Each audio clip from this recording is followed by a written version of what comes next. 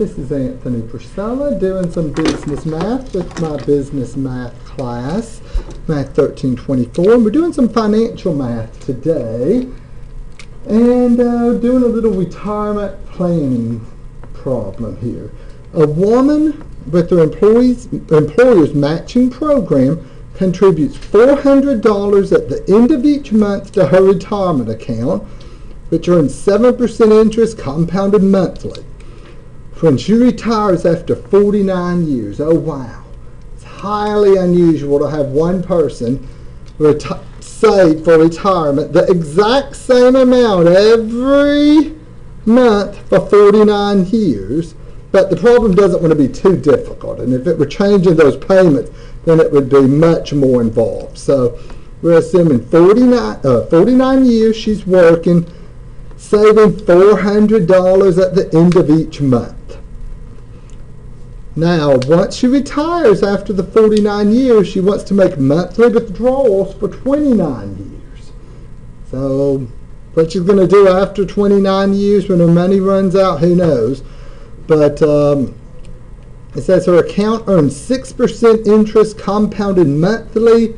So, when she retires, what's her maximum possible monthly withdrawal without running out of money? She wants to get a monthly check sort of like a paycheck. But um, I'm going to do this. This is going to take up two, um, and magnify this and move it more center like that. And this timeline here, there's going to be two parts to it. For the first 49 years, the lady's just saving and saving. This is the 49 year period where she's saving her money. She's saving, how much did it say? $400 a month for 49 years. The interest is 7% compounded monthly. Then, after the 49 years of working, she wants to retire and she wants to take out money. So this is for, let's see, what is this? This is a, what, a 78 year timeline here. Over the 78 years, she starts with a zero and then she starts saving $400 a month for 49, for 49 years. That's sort of uh, funny. But um, after the working and saving for 49 years, she's going to retire, live the nice life, and withdraw money. At the end of the 78 years, how much money should she have in this uh, retirement fund? At the end, zero. yeah, zero. She started with zero, saved for 49 years, then she starts spending it. And at the end of the 78 years, she's got zero dollars. Well, this first part of the timeline, how much did she begin with here in the account? Zero. Zero. So as she's saving for retirement, is that an annuity? What do y'all think? Yes. Yeah, it's an annuity. It certainly is. So, which formula? Are we looking at a present value or a future value here? Future value. Oh wow, I wasn't expecting y'all to get that. So, so uh, this is going to be a future value of an ordinary annuity. And that formula S equals R times 1 plus I to the n, or times 1 plus I to the n over I. Oh. We haven't written that formula up today, but it's the one we had been using. So we're going to use the future value of an ordinary annuity to calculate what part of the timeline. What's that going to give us on here? Right here. That's going to give us that future value of the red timeline. Okay, that middle point there. So R is, let's write it out. R is 400. What's I? I would be seven point zero seven over twelve. One, two, zero. Let's see. It's not going to be a.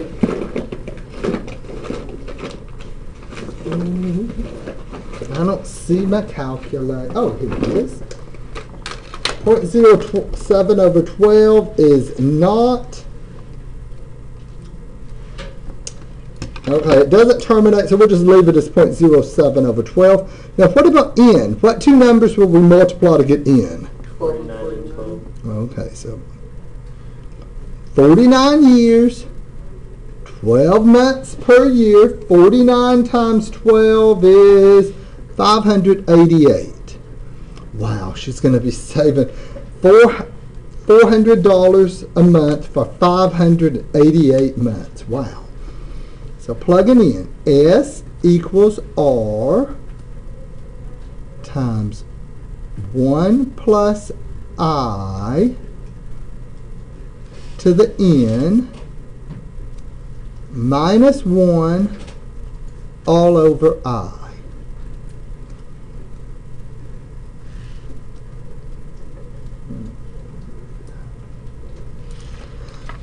Now, I'm going to punch this into my calculator and you'll get a little bit of a glare, but it usually looks pretty good, the finished product.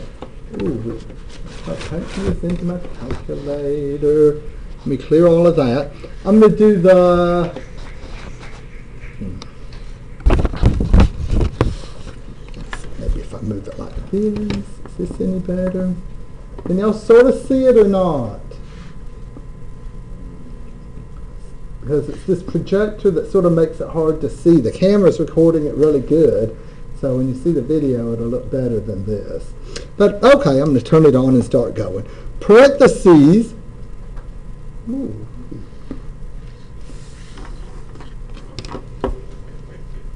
Mm.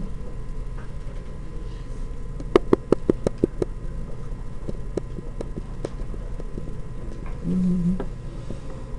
It's one of those time, days when it sure doesn't look any good, does it? What if I turn on the lamp? Mm. Well, I may as well just start punching it in. Okay. This will be your chance to punch in and see if you can get it. 1 plus 0.07 divided by 12, close parentheses, raised to the 588 power, oh, ooh, raised to the 588 power, then a minus 1, divided by parentheses 0.07 over 12 Ti- this is where we've been multiplied by 4,000, oh, excuse me, by 400. So, oh, hey, that's visible. Sounds so stupid in the video because it's all visible in the video, and I'm just saying, oh, it's hard to see, it's hard to see if any of you looked at any. 4,400. Oh no, I put 4,000. So really, there. Okay, j- since there was one extra zero, I need to move the decimal point over one. So we have two. Oh wow, We she is. Yeah, she really saved a lot of money. I figured you got to think of this as maybe the boss, the company's, whoever owns this business that she's working for, it's her son. And so he set his mother up with a nice little job. 0.494, so we'll say 0.49. So at the end of the 49 years, this lady, she's been working and saving her money at her boss, at her son's company. Uh, two million twenty-seven thousand six hundred eighty-nine dollars and forty-nine cents. That's how much money she has. Is that what y'all got? I know you couldn't see me punching in, but is that those of you that did punch in? Is that the number you got? The two million twenty-seven thousand. So now we're ready to move on into the green timeline. This is when she's retired and living the nice life, taking the money out. Well, what formula will we use now for the green timeline? Right here we have two million twenty-seven thousand six hundred eighty-nine dollars and forty-nine cents. Well, so looking just at this portion of the timeline, is this a present value or a future value problem? Hmm? Present value. You know, looking at the green timeline, what's the future value of this account going to be? Zero. You know that. Doesn't the word problem say something about her not running out of money? Like to do it to solve Oh wait, she doesn't run, want to run out until before the 29 years. Okay, which is his way of saying she's going to have zero at the end. They want you to say. It also says what's the maximum amount. What's your maximum possible monthly withdrawal? They don't want you to say, well, if she only takes out one dollar a month, she won't run out of money. Okay? They want to know the largest amount she can take out and still not run out until the 29 years is over. Okay? So this is a present value. That's the new formula that we, well, by new I mean new to y'all. It's not new to the world. So P equals 1 minus 1 plus I to the negative n all over I. So, uh, the present value P is that $2 million that's there in the account. Two million twenty-seven thousand six hundred eighty-nine dollars and forty-nine cents. Now, does the interest rate change? I don't think it does. So I stays the same, 0.07 over 12. But what about N? Hmm? Oh, it does? Oh, it does. Okay. Oh, that's going to make it easier. The interest rate does fall down to 6% instead of 7%. Thanks for pointing that out. So this 7 there should be a 6. And I'm going to go ahead and write a decimal for that. 0.06 divided by 12 would be 0.005. Oh, and I haven't found n. So what two numbers am I going to multiply to get n? 29 times 12, the total number of months here. Let's see, 29 times 12, well, that would be 30 times 12 minus 12, 360. Excuse me, 348. 360 minus 12. So now plugging in. P equals, oh, not P, two million twenty-seven thousand six hundred eighty-nine dollars and forty-nine cents equals R times one minus, see the one plus I, I can just add in my head, 1.005 to the negative N all over I.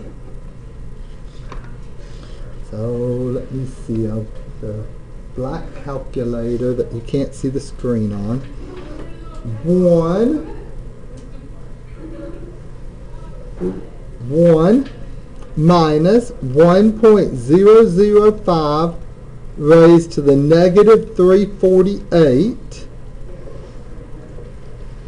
Okay. Oh. Hmm. Then divided by 0.005. So we have 164.74 something or another. And then to get R, we're going to divide the 2,027,689. Here it goes. Oh, that looked not bad. 2,027,689.49 divided by second ANS twelve thousand three hundred eight dollars and seventeen cents. So she worked a lot, saved a lot, and those four hundred dollar a month payments for forty nine years, she's now going to get to withdraw twelve thousand three hundred eight dollars and seventeen cents a month for twenty nine years. And at the end of the twenty nine years, well, maybe she will have saved some more of this. Who knows? She might have some other retirement accounts wait, wait, waiting out there. But uh, Are, are, are taxes taken out of that? hmm? Like, are taxes and stuff taken out? Oh, uh, well, if, if this money was before tax, then yeah, she'll have to pay income tax on it, okay? But she should be over 65, so that gets her a little break there. Uh, if this were something like a Roth IRA, which is after tax dollars, then no. Okay, but she should. She does have to pay payroll tax of the Social Security. Okay, but uh, if it's before tax dollars, then she would have to pay income tax on it. But if it's a Roth IRA after tax dollars, then no. And She doesn't have to pay tax at all on it. Okay? But we'll continue our discussion of all of this the next time. Y'all have a good weekend.